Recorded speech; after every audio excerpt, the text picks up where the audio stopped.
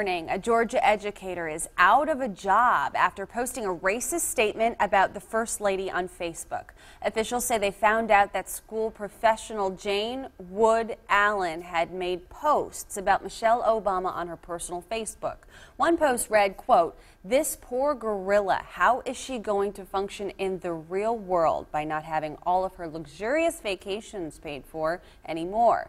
Parents say they understand freedom of speech, but they say teachers have a higher standard. It comes to representing a school, Chestatee Elementary, I think uh, you need to really watch it because these kids are our future. She's putting it on social media. She may be putting it in the classroom, and that's not okay with me.